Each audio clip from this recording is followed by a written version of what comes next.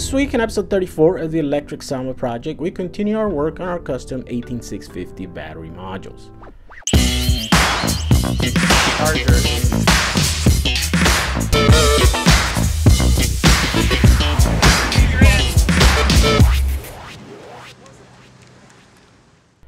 After a little bit of fun last week with the Samba on the racetrack, it's time to get back to work on our battery modules. Today we are going to work on our second module, one that we last saw on episode 29. The difference of this module and the first one is of course the Tesla style cell level fuses. The wire I tested and chose for the job proved to slowly burn up at 6 amps, which is slightly above the amperage each cell will see under normal operation, pushing the Samba around. The problem is that there might not be enough headroom. But if we do the math, 6 amps times 150 cells equals 900 amps. So in theory, you would have to demand 900 amps for about 10 seconds out of this module before you would start seeing fuses glow orange. Of course, my Curtis controller is rated at 650 amps, but I've seen my instrumentation show a maximum draw more towards the 680 to 690 mark. Even then, that's still a whole 200 amps of headroom on an event that rarely happens, and when it does, it's only sustained for a few seconds. So to find out if this 6 amp fuse wire is right for the job, I'd figured that it's a lot more fun to test it out in real life than to sit here and try to imagine and formulate what could happen if we were to try it out.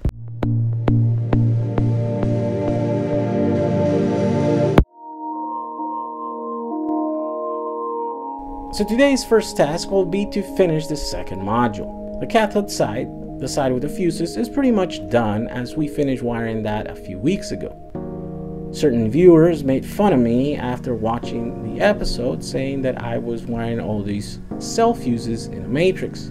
Of course, the reality is that I'm using strips of copper to collect all the current from all the cell fuses and send it to bigger copper bus bars that will then serve as the battery terminal. It's pretty much the same design as the first module minus the fuses. So to finish this module, we will have to wire the anode side. On this side, we will not be using fuses as we don't need that kind of redundancy. So let's get started. Hi guys, so today we are here at the, uh, this is a JAG35 offices here and I kind of set up my little workstation here with chargers and batteries and stuff. And today we are gonna finish our second module. That's right, the one that has all the Tesla fuse, uh, Tesla style fuses on it. So uh, we have the one side to do because if you guys remember a few weeks ago, I kind of finish up this side, which is the one that's got all the uh, little fuses on here. So today what we have to do is finish up the other side and then um, install it in our Samba and take it out for a drive just to see how it does, if it actually, you know, if it actually works. So what we're gonna do here now that we have our things bent up like this, we're gonna put them here. This is where they're gonna go. Here's our big bus bar.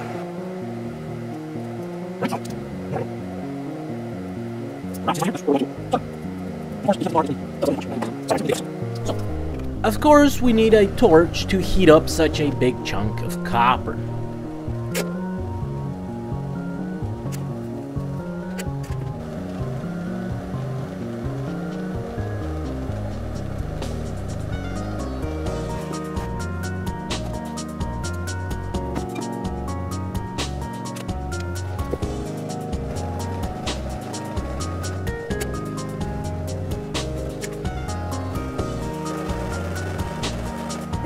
Now that we have all this soldered up, now we're gonna have to just start putting solder in all these batteries.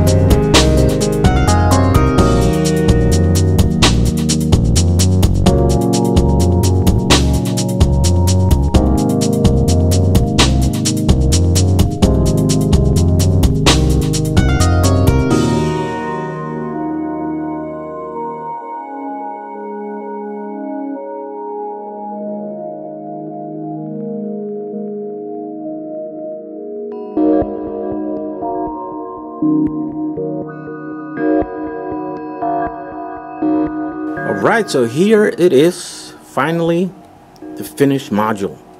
It's got the two bus bars, the negative, the positive. Uh, they are glued to these cells here so they don't move. Um, so they're pretty rigid.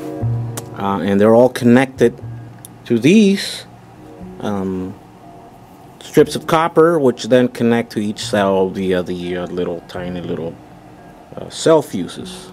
Um, it's ready to go. I think we're now we're just gonna plug it in to uh, charge it. All right, so we just use these uh, cables here with this little plug-in that is all for RC stuff. Um, and now we're gonna put this module to charge just to top it off so it's nice and charged before we take it out on the road. So charge rate 40 amps. Let's see um, if it'll how much it'll give us in discharge rate 1 amp I don't need to discharge it so start charge only checking pack confirm charging.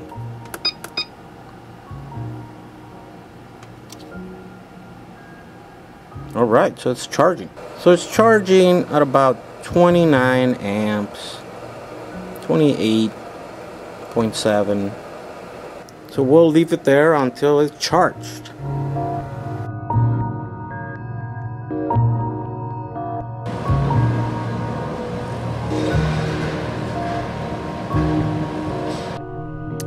So now it's time to install it.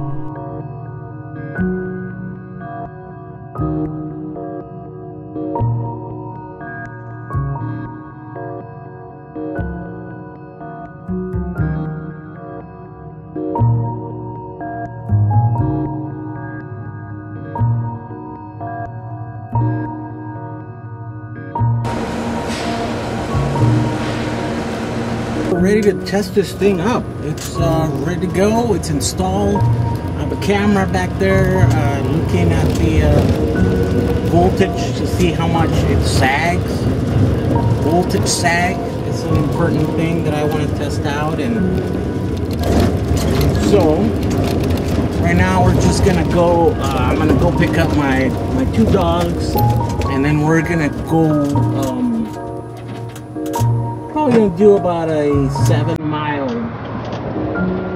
which is about 15 mile round trip to uh, the dog park. I haven't take, taken my dogs to the park in a while, so I figure I test the battery and take my dogs to the park.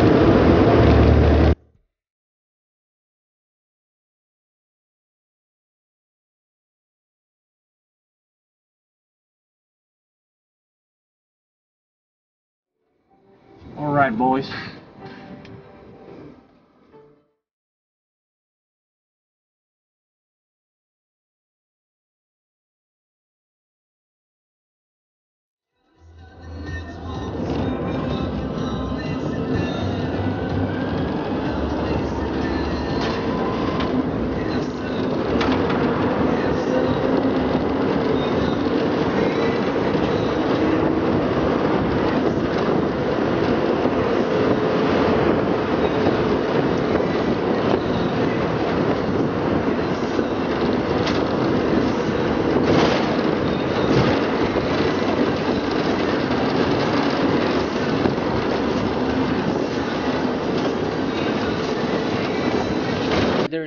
very long steep hill ahead of me and this is where I like to push it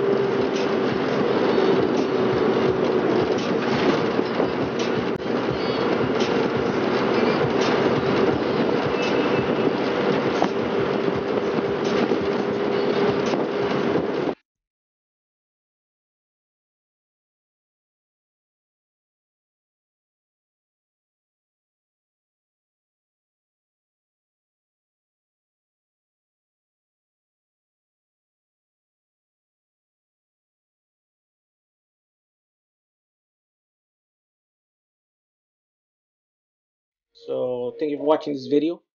Uh, make sure to catch next week's episode for more Electric Samba adventures. next week,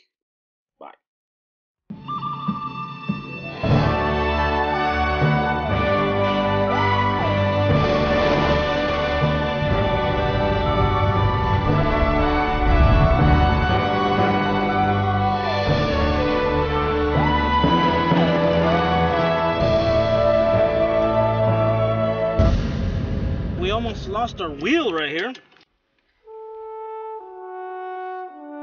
Folks, if you enjoy my videos, don't forget to subscribe to my YouTube channel and join the conversation down below by leaving a comment.